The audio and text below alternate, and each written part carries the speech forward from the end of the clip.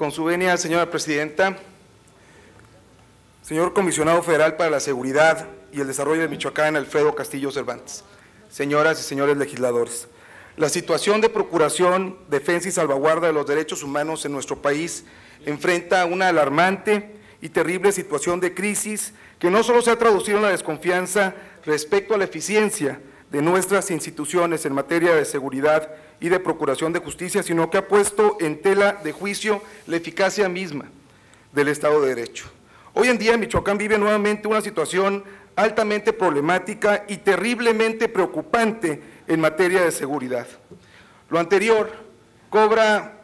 pues una importante relevancia si tomamos en consideración la presencia del Ejército y de la Policía Federal,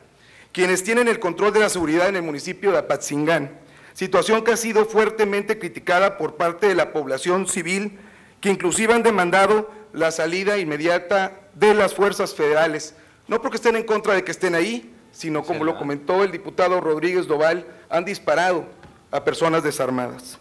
La situación actual que enfrenta esa entidad federativa tiene un alto costo en la seguridad de sus habitantes, quienes tienen que soportar al mal gobierno, a sufrir las laceraciones de la delincuencia organizada, que impone impuestos, abusa de las familias y secuestra a los pobladores y a los migrantes, existiendo en el Estado una notoria ausencia de correcta implementación e impartición de justicia. Como prueba de lo anterior, señor Procurador, cabe mencionar lo acontecido el pasado martes 6 de enero,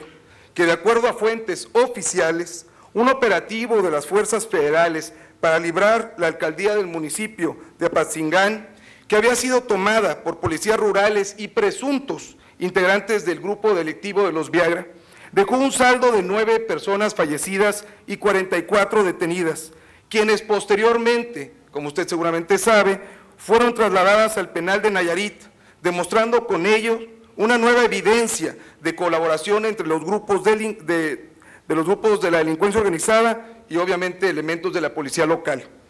Como en aquellos terribles sucesos de violencia que azotaron a Michoacán hace casi un año que usted llegó ahí, esto representa una clara muestra de la completa ingobernabilidad que se vive en esa entidad federativa. Por lo tanto, comisionado Alfredo Castillo Cervantes, por parte del Grupo Acción Nacional, tenemos tres preguntas.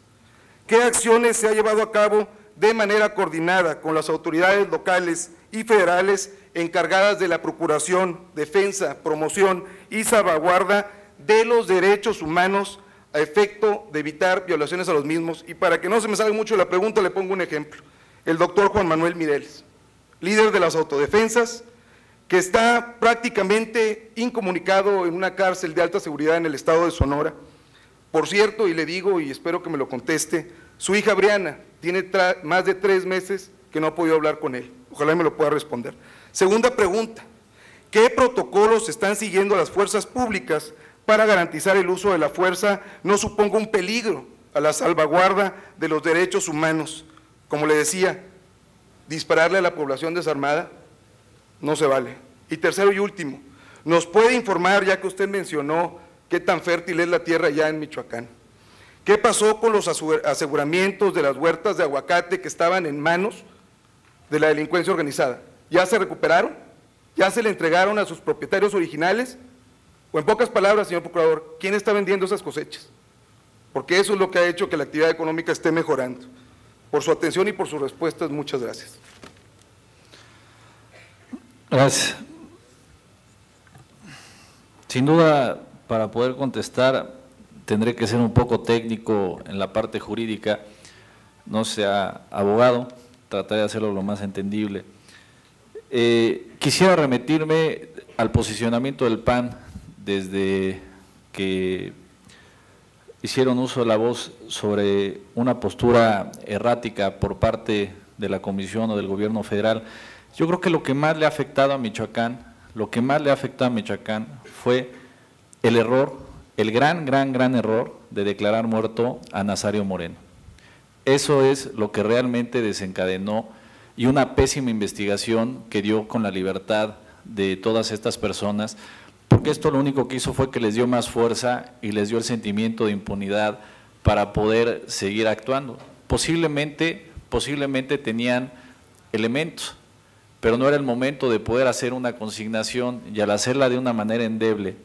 y después darle el anonimato y que sus áreas de inteligencia en esa administración, concretamente el CISEN, no les pudiera decir que estaba vivo, algo que en tres semanas yo ya sabía, pero que a ustedes no les haya podido decir, esto llevó a que esta situación se acrecentara y él pudiera actuar prácticamente por su libre albedrío. Entonces, para mí hay un error y lo demás son consecuencias y el gran error tiene que ver con que ustedes declararon muerto al principal líder templario que se llama Nazario Moreno y que la señora senadora que está a su lado, no me dejará mentir, era el verdadero líder del cártel. Segundo punto, decirle que para poder decir versiones extraoficiales tendríamos que tener elementos oficiales, no extraoficiales, elementos oficiales para poder decir que existió una masacre,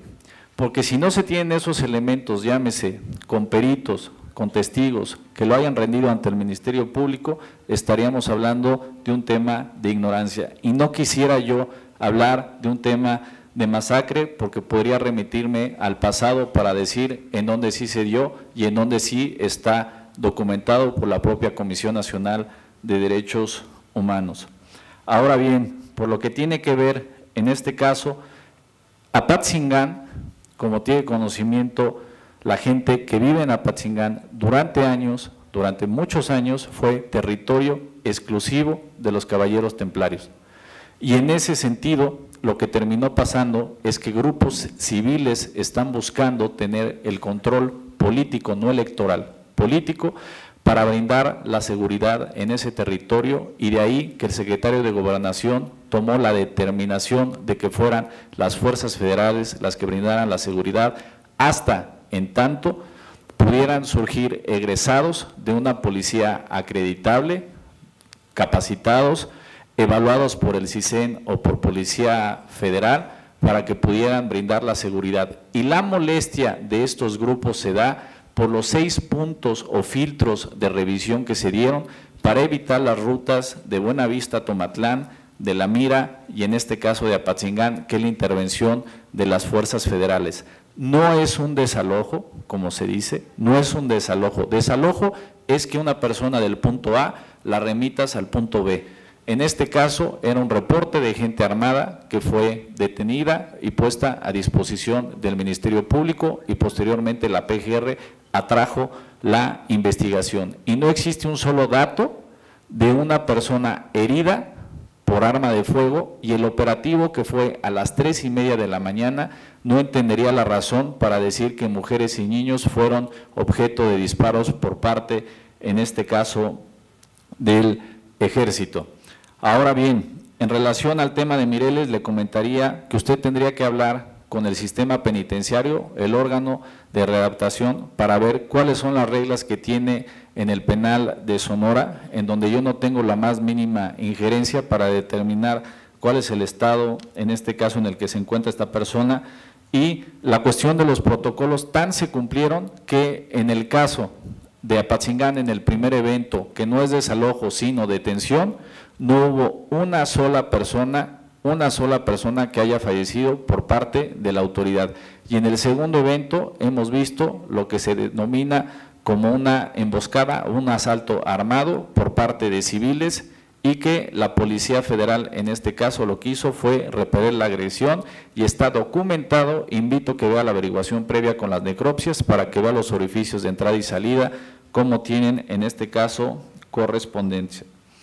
Eh, en cuanto al último punto sobre el aseguramiento de las huertas, se necesita presentar los legítimos propietarios, avalar la propiedad y solicitar la restitución en este caso ante el Ministerio Público y ya con esa vía y que acrediten de qué forma lo adquirieron, se les podrá dar en este caso su devolución. Gracias.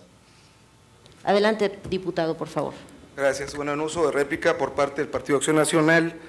eh, desafortunadamente asume que todos los que estamos aquí somos expertos eh, en seguridad. Eh, la verdad es de que yo nada más quería que me contestaran mis preguntas y bueno, voy a tener que yo en la réplica tratar de traerlo al presente porque como que quiso vivir en el pasado. Le pongo otro ejemplo en el tema de derechos humanos. el alcalde Gustavo Garibay, que fue en esta administración, por cierto, lo asesinaron en Tanuato y dijeron eh, en 72 horas que ya tenían a varios de los que habían asesinado, inclusive eran parte de los grupos de autodefensas de Yerecuaro. Yerecuaro. Y, y, al líder lo torturaron y a escasas dos, tres semanas lo liberaron a todos. Entonces, yo sí lo invitaría a que tratara de ser un poco tolerante y pudiera hacer una autocrítica porque se cometen errores también en la presente administración. La segunda pregunta, pues mire, a lo mejor usted dice que, que cómo entraron las balas y todo, pero para la familia de Miguel, esa madrugada del 6 de enero, él iba corriendo atrás de los suyos porque los estaban deteniendo y estaba desarmado, abrazó a su esposa, a sus hijas y les dispararon y hasta el tiro de gracia le dieron. Entonces para ellos pues no, no le queda claro sus respuestas técnicas, ojalá y pudiera contestar. Y bueno, en el tema del doctor Mireles, pues sí, así están en Sonora, comisionado. Se pasan la bolita entre el director del penal y el juez y su esposa Ana y su hija Briana siguen esperando poder hablar con, con el doctor Mireles, inclusive hasta hace pocos días este, ya logró estar en una celda con otros presos porque había estado incomunicado por meses. Y por último, en el tema de las huertas de, aguacate, que son, eh, por cierto, la entidad que más exporta a nuestros socios comerciales vecinos del norte, eh, pues no me contestó. Yo lo único que quiero es un reporte si efectivamente ya se recuperaron por los dueños eh, originales, no que me diga que tienen que presentar ciertos documentos Entiendo que eso tiene que ser así, nada más si puede darnos una información, un dato duro, en donde todos aquellos que fueron desalojados de su tierra y que ahorita no están vendiendo esas cosechas en esa tierra tan fértil como usted dice, pues a ver si han logrado. Y por último,